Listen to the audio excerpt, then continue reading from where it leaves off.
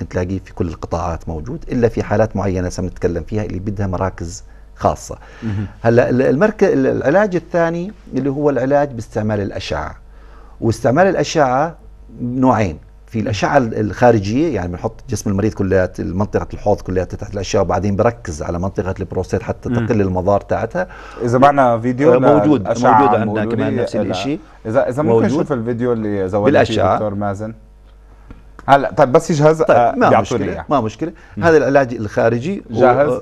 sorry أيوه. اللي هون زي ما شايفين المريض هون إحنا وجهاز الأشعة.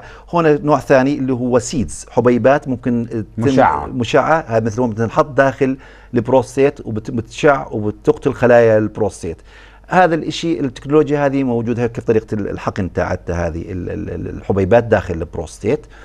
آه هذا العلاج آه يعادل يعادل العلاج الجراحي حقيقة.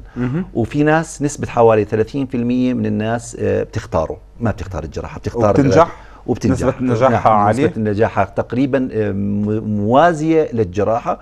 والحمد لله موجودة عندنا الآن وعندنا مراكز حتى موجود في مستشفى يعني مركز الحسين للسرطان موجود بالقطاع الخاص موجود في الخدمات الطبية وموجود في وزارة الصحة. يعني عندنا الآن في الأردن عدة مراكز للعلاج الخارجي مش البريكوثيرابي مش الحبيبات مش الحبيبات عم الحبيبات عن علاج هذه الأشعة. هذه لها إشكالية حقيقة إنه بدها موافقة لأن شكرا على مواد الفيديو. نووية. تعتبر مواد آه، نووية. ولذلك هذا العلاج مش موجود في الأردن بكثرة. بتذكر المركز الحسين للسرطان في كثير كنترول أتوقع على المواد نعم النووية إنه هلأ العلاج الآخر إنه طبعا قلنا هرموني حكينا. الآن في علاجات أخرى ما بدنا نخوض فيها اللي هي يعني بال ultrasound مش بال ultrasound وكذا بهمني واحد اللي هو الناس بتسمع عنه الآن لأنه يعتبر انقلاب في العلم. الانقلاب في العلم الآن آه اللي هو استعمال بيسموه ديفينشي الديفينشي robotic يعني آه رجل آلي اللي بيشتغل. أنا بكون استعمال الروبوت الروبوت. يعني أه. بكون أنا موجود بشتغل هون أه. وفي أفلام عندنا لو لو تجيبوا لي الروبوت أعطونا اياه please كويس. إذا بتلاحظون بحرك بإيده جراح قاعد على طاولة وشوف وين الجراحين. موجودين لوحدهم والمريض بالجهة لحاله اللي هناك اللي على اليمين. وهي بيتحرك لحاله. شوف كيف بيتحرك قاعد الأجهزة. داخل بطن المريض. يعني بحرك أصابعه عن بعد وبتصير تتحرك موجود عندنا بالأردن؟ لا لا طبعا ثمنه مليون دينار. ال maintenance تاعه هذا لكل عملية بده حوالي 10000 دينار أردني حتى لو كانت عملية بسيطة آه. كويس. وبده حوالي 150 ألف دينار آه، سنوي بس صيانة. صيانة. فهو مكلف. غير ال 10000 اللي غير 10000 اللي لأنه هذول المواد اللي مستهلكة في في الموضوع. هلأ آه، يعني بس برضه مشان إنه أحكي لمواطننا شيء اللي يعني اللي اللي اطمنه فيها بالموضوع هذا. بحكي له إحنا سواء كنت جراحة يس ولا باللابروسكوب ولا بديفينشي كلياتهم نفس العملية. يعني بالزبط. ما في فرق إلا العملية التكنولوجيا إنه هذه بجرح أقل هذه أقل ندوب. هذه ثقوب آه. هاي فيها ثقوب طبعا الدافنشي آه.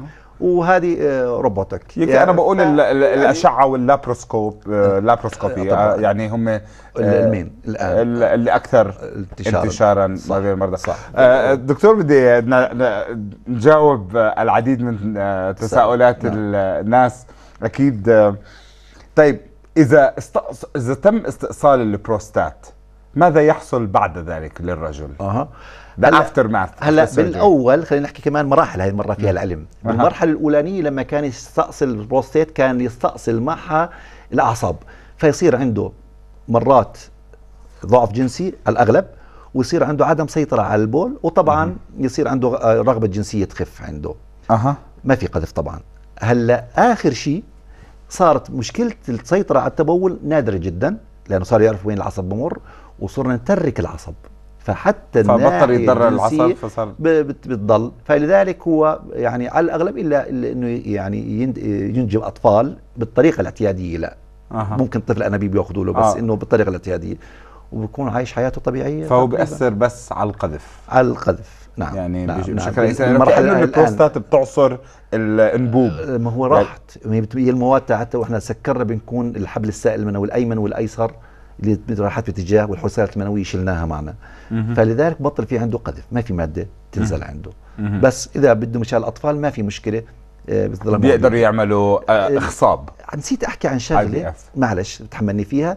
إنه في الزمانات ما كان في كيماوي للبروستيت. آه. ما كان في. ما كان في علاج كيماوي. هلأ من 99 وجاي صار في كيماوي وكيماوي يعتبر نسبيا ناجح. أه. فلذلك حتى اللي بينتشر عنده سرطان البروستيت وأخذ الهرمونات وكذا وإلى آخره كان بالأول نوقف خلص ما ضل عندنا حلول. الآن في عندنا الكيماوي موجود وأتوقع إنه موجود في الأردن في مركز الحسين للسرطان على الأغلب. okay. طيب آه رح ناخذ كمان اتصال معنا كايد. تفضل. بسرعة كايد. بسرعة. ألو؟ مساء النور. أهلا يا كايد. تفضل. معك الدكتور مازن. أغلبك والله بدي أحكي مع الدكتور مازن. تفضل أخ كايد. آه، دكتور مازن آه، مساء الخير أول مساء الفل. آه، دكتور بال 2005 نزل معي دم من مجرى البول قعد على يومين ثلاثة وسووا لي عملية تنظير بالمنظار. نعم. وحكوا لي إنه ما في شيء مبين الحمد لله على السلامة. الحمد لله على السلامة. والله يسلمك. وبال 2013 بشهر ثلاثة هاي تكررت العملية ونزل دم معاي آه، أكثر شوي المرة هاي.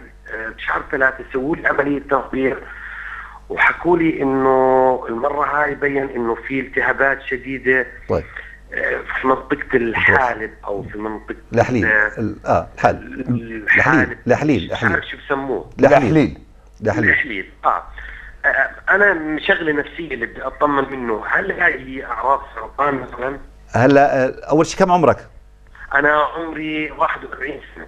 طول العمر إن شاء الله. وحده؟ الله يسلمك. 41 ولا 70 41 41 41 طيب معلش دكتور ناخذ كمان اتصال وأنا سجلت لك السؤال آه طيب لا. عشان ترد على كايد. كايد هلا بنرجع لك بنرد لك عليه. أبو أحمد لضيق الوقت. ألو؟ ألو تفضل أبو أحمد. السلام عليكم. وعليكم السلام. الله يعطيك العافية دكتور. الله يعافيك. أه معك الدكتور مع دكتور مازن والله. تفضل يعني تفضل حبيبي. الله يبارك فيك. أه يعني يعني بدي أحكي لك أنا بتكرر عندي عدة مرات أه يعني بدنا نقول من خلال التبول يعني أه آلام شديدة بتكون آلام شديدة مع زي زي الحصر يعني. وبتتكرر مثلا في النهار بتتكرر أربع خمس مرات. كم عمرك؟ كم عمرك أخي؟ كم 58 كم؟ 58 8 طول العمر إن شاء الله آه. نعم إن شاء الله. وهي طبعا تكرر خلال اليوم ثلاث أربع خمس مرات. وبعدين هي بتروح بتغيب فترة طبعا أنا عندي يعني بالجهاز الهضمي عندي باخذ أنا يعني مشان آه، الحموضة وكذا وهيك عندي قرح عندي كذا فباخذ أنا علاجات. هاي تصير مرات بعدها ومرات بدون ما أكون أنا ماخذ العلاج يعني. أنا طبعا سكري طبعا ما عندي الحمد لله رب العالمين. وهي العملية عملية الألم والحصر والتكرار العملية خلال اليوم يعني. طيب سلامتك إن شاء الله. الله يسلمك. إيه خلينا نجاوب على السريع على اثنين. تفضل الأخ الأول لما حكى عن الدم في البول إحنا قلنا الدم في البول بحاجة إلى فحوصات لأنه في احتمالية إنه يكون ورم بس في احتمالية ما يكونش ورم والحمد لله إنك أنت كنت من الناس اللي ما عندك ورم وهو ناتج عن التهاب ومبروك والحمد لله على السلامة. ما فيش بخوف معناته. هلا الأخ الثاني العمر 58 بيتماشى أول شيء مع تضخم البروستات بس لابد من فحص ال PSA حتى نتأكد إنه بس مجرد تضخم بروستات وعلى الأغلب راح تحتاج لصوره تلفزيونية ودفع البول على الجهاز ومن ثم راح تحتاج لعلاج التهاب التضخم البروستات الحميد لأنه هذا العمر اللي هو اللي بصير فيه وهي أعراض التضخم غده البروستات ف... بس برضه نرجع لكايد إنه قال إنه رجعت له هاي الحالة بال 2013 بشهر ثلاثة وقايلين له هلأ إنه في التهاب سيء جدا جدا جدا. يعني إذا سائل الالتهاب دكتور هو شو هو الالتهاب إذا بالسوق بدنا الأول نعمل زراعة نتأكد شو نوعية الالتهاب اللي عندنا موجود فيها ونأخذ المضاد الحيوي المناسب لها حتى التهاب البروستات ممكن مرات يوجد شوية دم حتى تضخم البروستات. بس سن 41 على الأغلب إن شاء الله ما في شيء بده يكون التهاب بالاحليل ويأخذ المضاد الحيوي المناسب له. سريعا سريعا سريعا دكتور. شو الخزعبلات اللي بتمر عليك بالعيادة اللي حاب تدحضها وتوقفها اليوم؟ ما ما ترجع تسمعها من مرضاك بالعيادة. إيش عم تسمع وحابب تدحض أه هاي المعلومة اليوم؟ هلا مثل ما حكينا أول شغلة إنه التهاب البروستات ما تضل قلق إنه التهاب البروستات المزمن بده يسوي لك سرطان. لا تخاف منها هذه. بعدين الممارسة الجنسية زي ما حكينا علاج لالتهاب البروستات المزمن وليست آه النقيض كويس. آه. ونتمنى لكل مرضانا إن شاء الله الشفاء ما ينصابوا أصلا بالمرض. وفي قلق كبير أتوقع لدى الرجال بثقافة العيب. هل هو عيب؟ يعني هو ما في شيء بالطب اسمه عيب.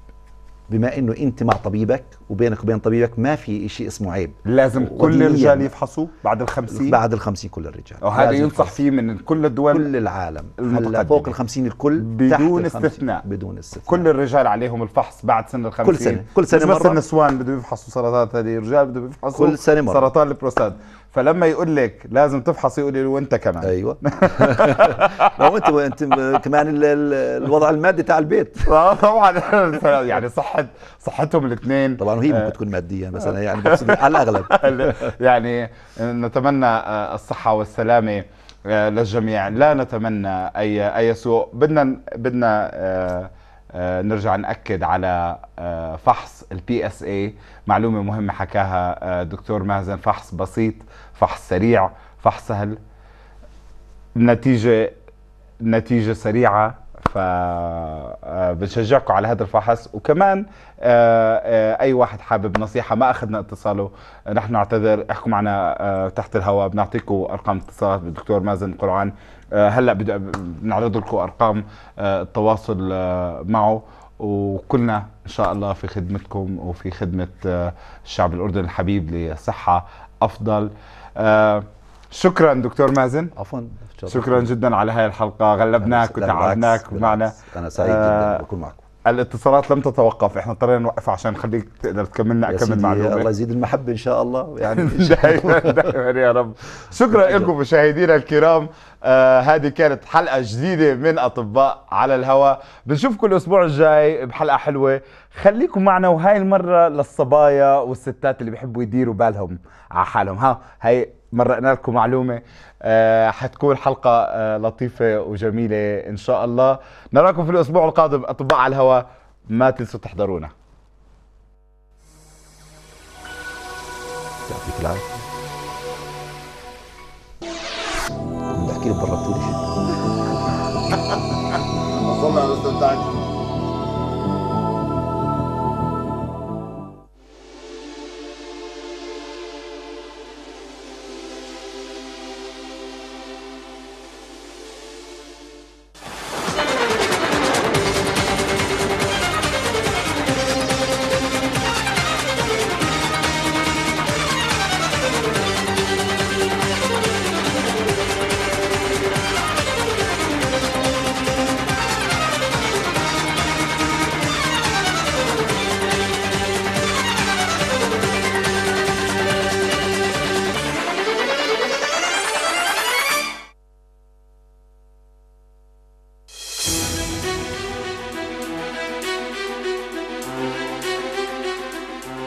مجلة الصفحات الطبية الأولى من نوعها في الأردن مجلة طبية ومتخصصة تصدر عن شركة الأولى للمطبوعات المتخصصة.